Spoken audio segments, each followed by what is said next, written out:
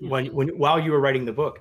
Um, I, I wrote quite a bit about the fact that we're living in the age of empathy, and and a lot of leaders figured out, oh, I need to be more empathetic, and I'm really hopeful now that we're now that you know we're past the peak. I'll just leave it at that. We don't know really what the future holds, but we're past the peak of the pandemic anyway.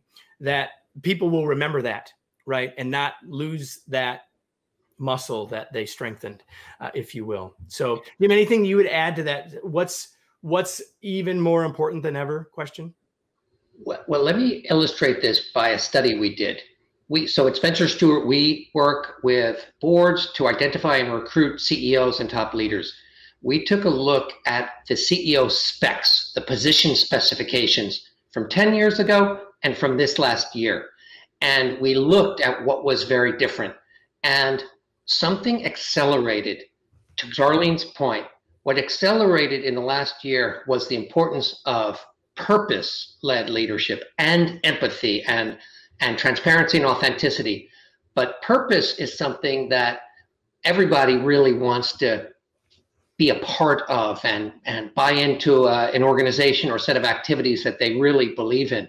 But that went from kind of a nice to have to the central aspect.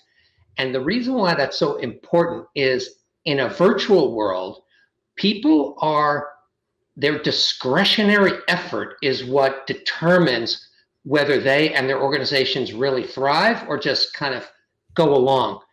And without the combination of tapping into a deeper purpose and leading in a style that, hey, we're all in it together, being real, being empathetic, being a human, and being honest and transparent, that's what leads leaders, allows leaders to tap into that discretionary effort where people are working remotely. So the purpose plus that authenticity and transparency has absolutely accelerated over the last year what had been a slow build from 10 years ago.